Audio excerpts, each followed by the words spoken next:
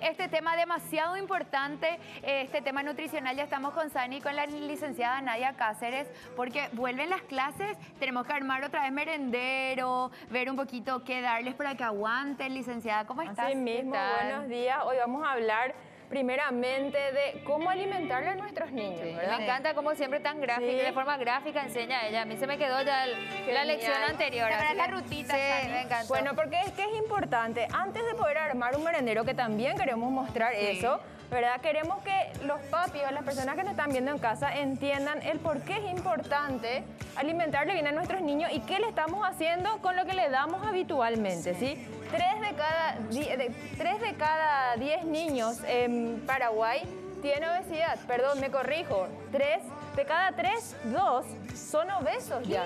Sí, y esta es una pandemia que es una pandemia no atendida, ¿sí? No le prestamos atención. Desde hace 40 años la obesidad es considerada una pandemia y dicen que hace 40 años hoy los niños son 10 veces más obesos que hace 40 años. Dios ¿sí? mío. Es una pandemia que va creciendo fuertemente y por desconocimiento o es como que giramos la mirada, esto va creciendo cada vez más. Y lo más grave es que antes se creía que eh, ser gordito era ser saludable, pero ahora ya se sabe que no es así. Tal cual. Y también está la clásica frase, ay, dale, que es criatura. Claro. Sí, dale, no. que es niño, ¿verdad? Entonces es muy importante eso. Ojo también, a veces los niños quedan al cuidado de los abuelos y como los abuelos tanto les quieren, quieren ser malcriadores y sobrepasan también las reglas que dejan los padres, ¿verdad? Dale, sí que la gaseosa. Bueno, licenciada, ¿qué tenemos acá? Vamos a aprender. Primeramente vamos a graficar con esto, ¿verdad? Que es una hamburguesa de doble carne que de repente están muy expuestos nuestros adolescentes, nuestros niños, que se acompañan con papas. Bueno, esta hamburguesa tiene 1300 calorías, tiene aproximadamente 3 cucharadas de sal. Mamá. La recomendación para un niño es una cucharadita de sal al día. Con esto puede representar todo lo que un niño puede comer entre proteínas como carnes, tartas, dos frutas, ¿verdad? un poco de vegetales. Con comer solo una hamburguesa con las famosas papas y los aderezos como, como las salsas de tomate, estas procesadas, representa a todo lo que puede Espera, alimentar. esto equivale a, A todo, todo esto que eso. sería En de calorías, manera en sana. calorías. Eso es mucho más saludable. Obviamente, porque esto contiene mucha sal. Voy a retirar esto de acá para ir mostrando un poco y hacer un escáner de lo que le pasa al niño con todo lo que come. Y capaz la gente dice, ay, qué exagerada, pero tenemos que saber, ¿verdad? Porque muchas veces no hay conoci- conocimiento de lo que le pasa. Uno es lo que come, dice, ¿no? Uno Tal cual. Eh, Muchas veces la sal, perdón, la sal es como que no, solo al hipertenso le quitamos. La sal va en- endureciendo la arteria a nuestros niños y hace que con el tiempo el corazón vaya Bombeando. esforzándose más porque las arterias están más duras, ¿sí?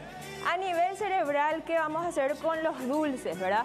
Esta es una clásica merienda de todos los días de los Que niños. las madres envían. Claro. Un merendero. Sí. Porque es fácil, Es podemos más práctico. comprar Tal lo más fácil, trum, ya Sí. se va. Aquí tenemos casi 40 gramos de azúcares que yo traje acá para mostrarles. Es una barbaridad. Que es más o menos todo esto de azúcar. ¿Qué? Sí. Oh, Porque esto, por ejemplo, más que jugo, más que la pulpa de la fruta, es más azúcar Claro. y colorante. Sí. Y la recomendación diaria de la Organización Mundial de la Salud de- en consumo de azúcares simples es solo esto en un día. Y Sí. ellos en solamente este Sí. snack tienen esta cantidad. Tal cual, y a en, lo un, en mejor un recreo, digamos, ¿sí? Claro. Oh. En un recreo. Y después está martes, llevan papas fritas con gaseosa. claro, un ¿sí? clásico. La misma cantidad de azúcar casi tiene esto. ¿Cuánto más o menos en calorías esto?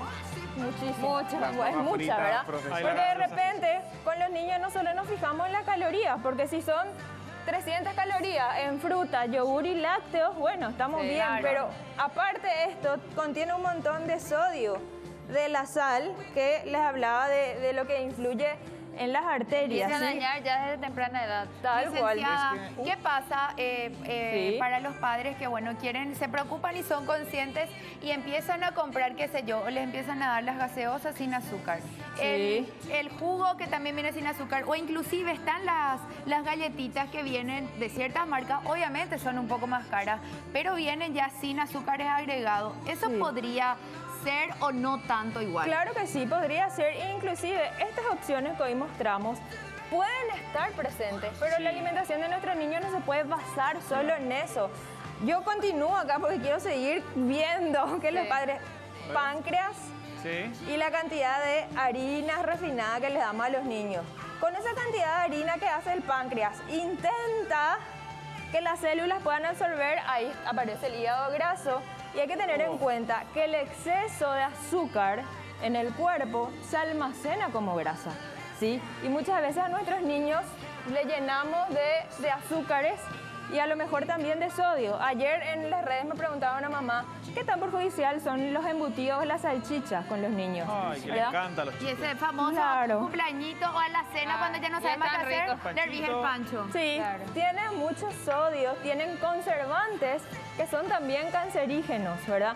Si el consumo es esporádico, pueden comer, pero muchas veces en la semana, siempre tal día, la cena es salchicha. Ah, Licenciada, Sí. eh, también yo había leído que las gaseosas dietéticas tienen mucho sodio. Tienen Entonces mucho hay sodio. mucho engaño también de que la gente que toma muchas gaseosas eh, sin calorías que creen que no se están haciendo daño y sí se están haciendo Tal daño. cual, porque hoy nuestros niños y todos vivimos en un ambiente obesogénico, donde así como la industria alimentaria fue mejorando, hay muchos más alimentos refinados, entonces lo que tenemos que tratar es de que haya un 60-40, a lo mejor 40 en la semana de lo refinado y 60 de lo no refinado que tenemos un poco acá, ¿sí?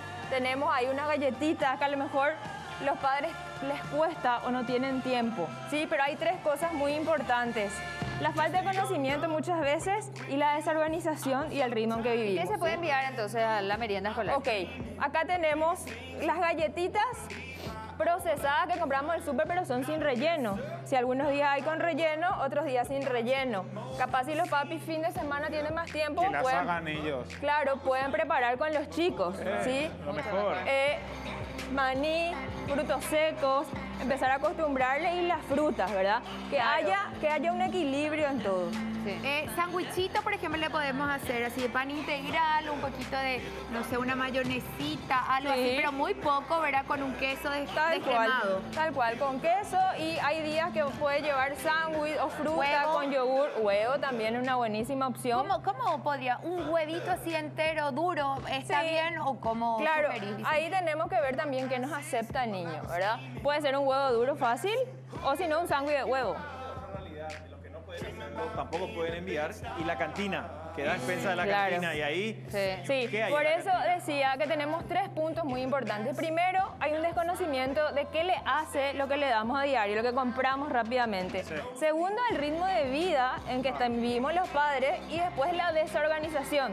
Entonces, si nuestro ritmo de vida no va a cambiar, mamá y papá van a seguir trabajando en las mismas horas, necesitamos reorganizarnos para darle importancia a esto, ¿verdad? Así como les decía, a lo mejor tres días llevan comidas procesadas y los otros dos días, aunque sea o tres de la semana, llevan mejores opciones al goyo. Pero hay que hacer. Por suerte también lo- los colegios empezaron con campañas de esto es saludable, Cantina esto no saludable. es. Y los En las chicos, cantinas, ya. los, pi- los Con chicos frutas. mismos te dicen, mami, yo no puedo llevar esto. Me ha ocurrido Exacto. que yo compraba y me dice, mami, esto no es saludable. Muy y vos bien. te quedás así, ah, bueno. mira. ahí funciona. ¿eh? Funcionó la bien, campaña. funciona. Bueno, y también en las instituciones que tienen doble turno, ya en las cantinas hay supervisión de lo que le van a servir a los niños Está y hay bien. incluso nutricionistas que acompañan para dar algo Sí, saludable. Y algo que los colegios están pidiendo ahora en esta pandemia es que la merienda de los chicos sea práctica y con poca manipulación, Sí. ¿verdad? Porque los profes nos pueden estar tocando. Claro, Y ahora también las cantinas ya no van a estar funcionando. No. Los chicos tienen que llevar lo suyo. Licen-